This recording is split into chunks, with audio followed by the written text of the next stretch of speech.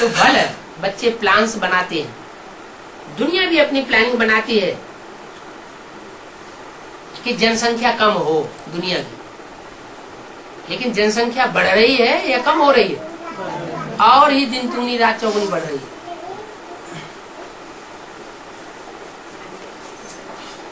जब हिंदुस्तान पाकिस्तान का बंटवारा हुआ।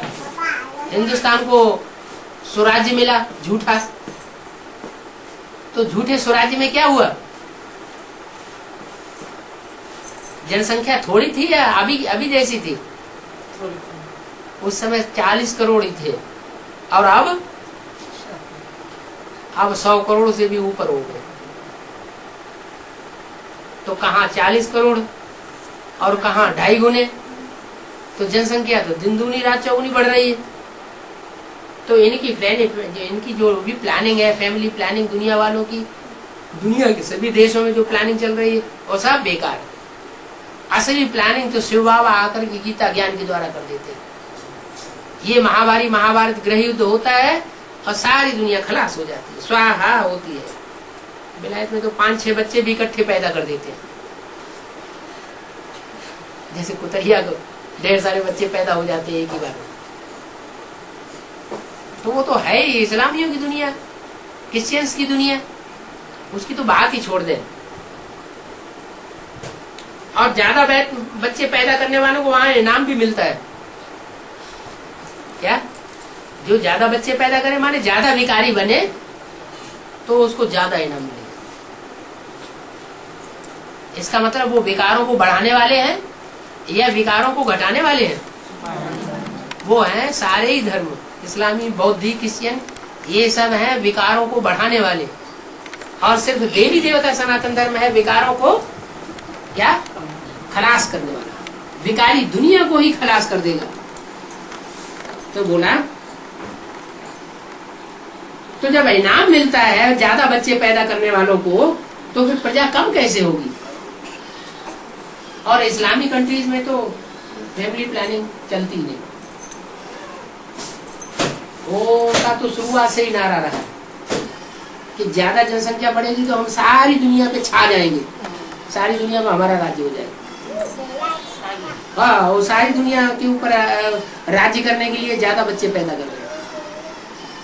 और छा भी गए एक टाइम अभी सौ, दो सौ साल से क्रिश्चियंस ज़्यादा बढ़ गए। पहले तो सारी दुनिया में मुसलमान ही मुसलमान थे। मुसलमानों का ही राज्य था। तो प्रजा कम नहीं हो सकती। और ही जास्ती प्रजा बढ़ती जाएगी। जितनी फैमिली प्लानिंग की दवाइयाँ बनाते जाएँगे इंजेक्शन बनाते जाएँगे गोलियाँ उलियाँ बनाते जाएँगे, उतनी ही ज़्यादा, और ज़्यादा बढ़ेगी। क्योंकि ऊपर से आने वाली आत्मा तो लगातार और बढ़ती बढ़ती आ रही है। कम होने का सवाल नहीं। वो इस बात में खुश होते हैं कि ज़्यादा बच्चे पैदा पैदा हो। क्योंकि इनको तो बहुत लक्ष्य चाहिए। इनको दुनिया की आबादी में ज़्यादा अपने धर्म के चाहिए।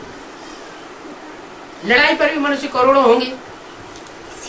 लड़ाई लड़ते हैं तो जितनी बड़ी सेना होती है तो समझते हम जीत जाएँगे। भारतवासी राजा होते थे, उनकी थोड़ी सेना होती थी। और जो मुसलमान आते थे, आक्रमण करने तो उनकी ढेर की ढेर, लाखों की तादाद में सेना होती तो क्या उनकी बुद्धि में मेंटलिटी में ऐसा है? कि हमारी ज़्यादा सेना होगी तो हम विजयी होंगे। लेकिन बाप कहते हैं, शेर जैसा एक बच्चा पैदा करना अच्छा या गधेड़े जैसे सैकड़ों बच्चे पैदा करने अच्छा। एक ही शेर पैदा करो ना। इसलिए भारत की आबादी देवी देवता सनातन धर्म की कम होती है, और दूसरे धर्मों की आबादी लगातार बढ़ती चली एक सिख धर्म है जिसकी आबादी नहीं बढ़ी है। उसका कारण यह है कि उस सिख धर्म ने देवता धर्म को फॉलो किया एक नारी, सदा ब्रह्मचारी, उनका ये नारा रहा है। तो जब जीवन में एक ही नारी करेंगे तो विकार ज़्यादा वासना नहीं बढ़ेगी। नई नई नारियाँ बढ़ाते चले जाएँगे तो विकार और ज़्यादा बढ़ते चले जाते हैं। ज़्यादा बच्चे पैदा होते हैं। ज़्यादा बच्चे पैदा करने से संसार में उनकी संख्या तो बढ़ती है। संख्या बढ़ती है और उनका प्रभाव भी बढ़ता है। क्यों?